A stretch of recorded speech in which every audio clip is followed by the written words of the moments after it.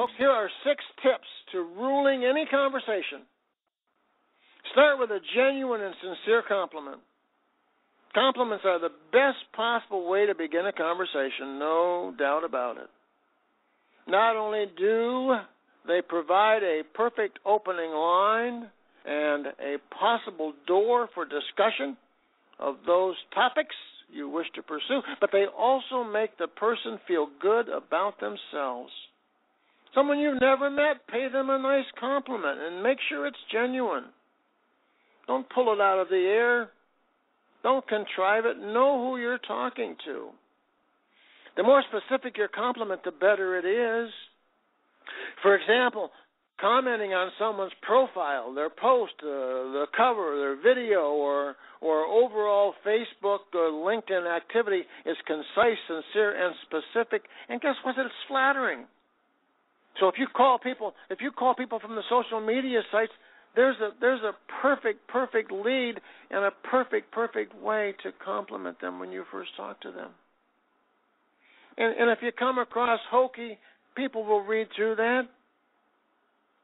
You know, hi Bill, I saw your post about such and such on Facebook and I thought it was I thought it was striking and and, and really on target and I compliment you on your on your thoughts uh, about it and how well thought out you were when you presented it for everyone else to see.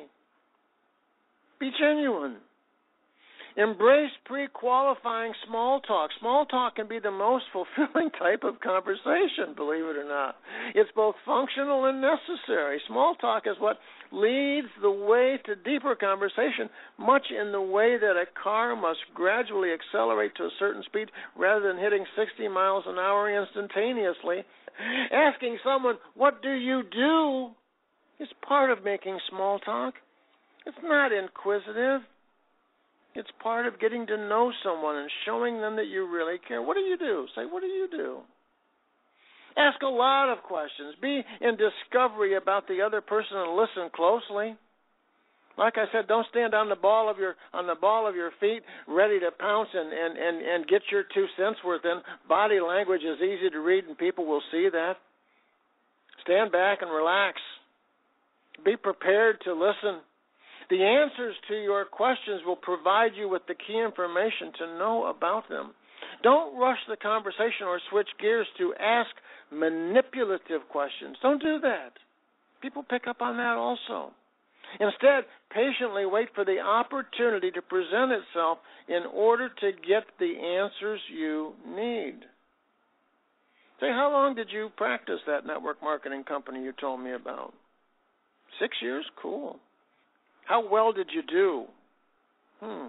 Did you have any upline training? Did you have someone like me, you know, on the phone with you uh, once a week or every other week, uh, offering a uh, offering a teleseminar, teaching you the things that, that that I know that can help propel your business even faster and more efficiently?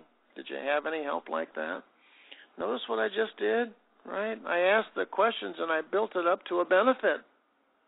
Pay close attention to the conversation and use their answers to move it forward.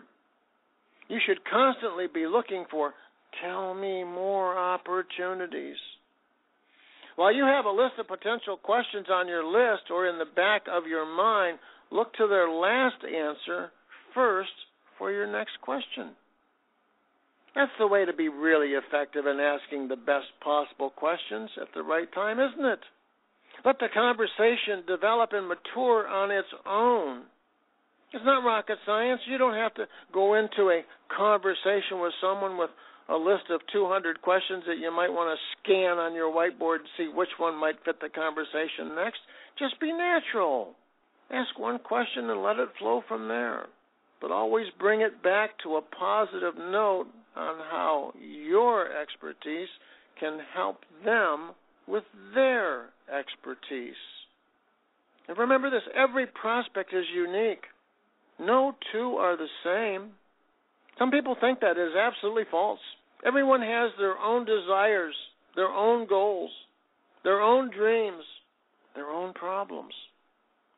Root those out and talk about them, but always tell them how you can help them with those problems and those goals and those dreams. And be honest about it. Don't be hypey. No BS. Don't flower it up with a bunch of BS. Keep business business, but keep it friendly and show that you care. This is an obvious one. Please be mindful of your tone. Your level of friendliness can make or break the receptivity of the other person. The frequent use of LOL, you know, laugh out loud in your text message, demonstrates a friendly and happy demeanor on your part or others. It's not hokey. It's allowing your personality to show. And there's nothing wrong with allowing your personality to show. People appreciate that.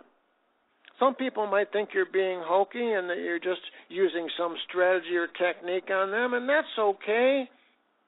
You know, some people just have this big negative shield built around them that you, no matter how hard you try, are not going to break through it on that first call or second call, but sooner or later, as they get to know you, let them know you. You will break through. If you can't say something nice, don't say anything. Never under any circumstances, argue with someone. Never disagree with them. You might say something, if you don't agree with something that your prospect, your new friend, has said, you might say, Well, that's an interesting perspective. I hadn't considered that. Tell me more. Invite the door for them sharing their knowledge with you and then circle back to your knowledge with them the opportunity will hit you in every conversation, and you will see, I promise you, you will see it. Your questions show that you're genuinely interested in what they have to say. And you must do that. You must get to that level. Let the other person do most of the talking. This is a major point. If you go into a conversation and immediately begin dominating it with your own anecdotes and comments and explanations, the other person may quickly become disinterested. Guess what? They don't care about you. At least not yet. Sooner or later they will. When they get that first check and that second check and they remember how you showed them the way and how you are there for them and to answer their questions to help them make even more of those checks and larger checks they will care. Instead seek to keep the focus on them as much as possible not on you. You care about the new little puppy that they got you care about the fact that their grandmother just went into the hospital how sad is there anything you can do? You'll say a prayer for her. Be genuine if you say that, by the way. Don't just say it, be genuine. If you don't believe in that, don't say it at all. When you're text chatting, you should never type more words than they did. Isn't that interesting? Think about that. You do not want to show dominance. You do not want to show that you may know more than they know. If they send you a text with 12 words, do not go on with 15 or 20. Go up to 12 with your reply. 10 maybe, 6 maybe, but not more than 12. And lastly, keep the conversation as light and easy as possible. Don't start complaining about your job or talking about what's wrong with your life or the government or taxes or any of those other issues that we all deal with every day.